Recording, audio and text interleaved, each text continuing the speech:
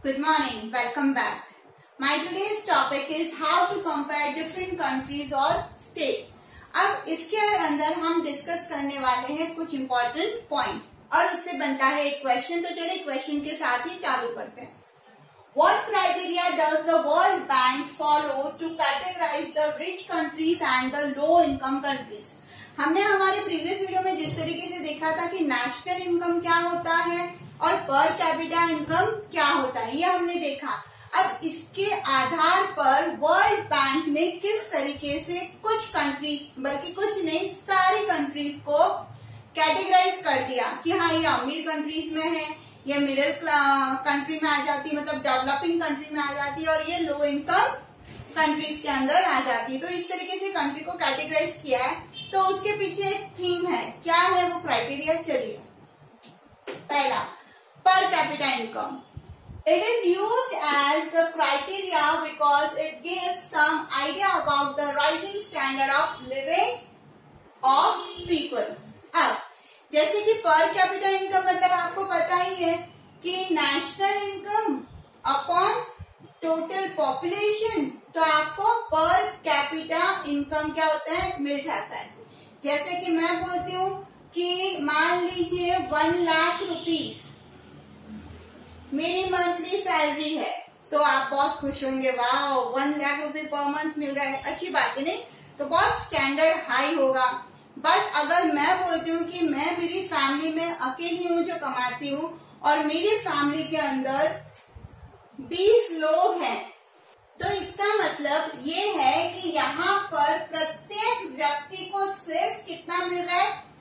पाँच हज़ार रूपए मिल रहे हैं। मतलब घर के अंदर जो बीस मेंबर है, उनको सिर्फ़ पाँच हज़ार रूपए पर व्यक्ति को मिल रहे खर्च करने के हिसाब से, चाहे वो खाना हो, पीना हो स्कूल फ़ीस हो, दवाइयाँ हो, कुछ भी हो पेट्रोल का खर्चा हो, है ना? तो ये तो काफ़ी कम है। तो यहाँ पर स्टैंडर्ड ऑफ़ लिविंग क्या होगा? इम्प्रूव होगा ही नहीं क्योंकि ये पैसा 20 लोगों के लिए क्या पड़ता है कम पड़ता है तो ये हम हमने क्या निकाला पर कैपिटा इनकम ठीक है? एवरेज इनकम निकाला देश का। अब, जिस किसी का भी इनकम चाहे ज़्यादा हो, वो कोई मायने नहीं रखता है। जब पर कैपिटा इनकम निकाला जाएगा तो उसके बेसिस पे ही वो डेवलप कंट्री है या नहीं है, वो कैटेगराइज किया जाएगा। क्यों?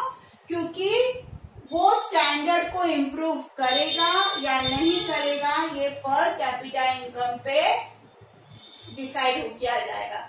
ठीक है? तो पर कैपिटा इनकम आप नेशनल इनकम नहीं लिखेंगे।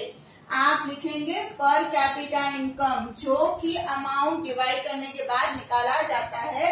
तो उसके आधार पर क्या किया जाएगा? उसको रिच कैटेगरी या लो इनकम कैटेगरी के अंदर उस कंट्री को डाला जाएगा। ठीक है? सेकेंड रिच कंट्रीज़ अब, अमीर देश की क्या परिभाषा है? कितना पर कैपिटा इनकम होना चाहिए तो अमीर देश की कैटेगरी में आएगा, उसको भी वर्ल्ड बैंक ने कैटेगराइज कर रखा है। चलिए।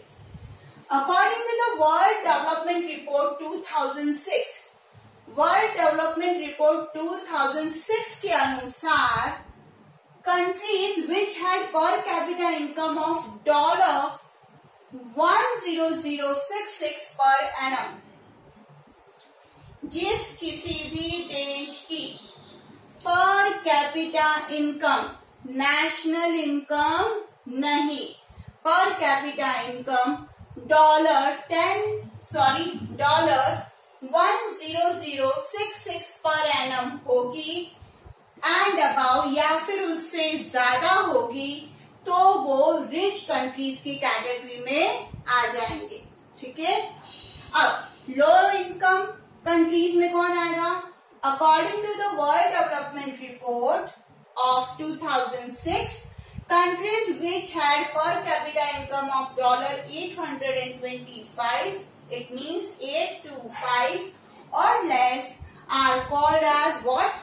Low income countries world development report 2006 के अनुसार, जिस किसी भी देश का per capita income dollar eight two five या उससे भी कम होगा तो वो लो इनकम कंट्रीज़ के अंदर आ जाएगा। तो ये कुछ पॉइंट है, तीन पॉइंट है, जिसके ऊपर वर्ल्ड बैंक ने क्या किया? कंट्रीज़ को कैटेगराइज करना चालू किया। आई होप वीडियो क्लियर हो गया होगा। तो लाइक करिए और पढ़ते रहिए social studies with Sangeeta thank you so much